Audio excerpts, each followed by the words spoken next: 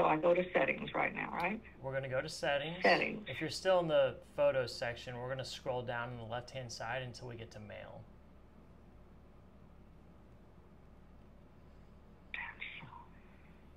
Mail, okay, mail. All right, and then accounts too. I think both of them are downloading. Uh, here's iCloud and Gmail. Great.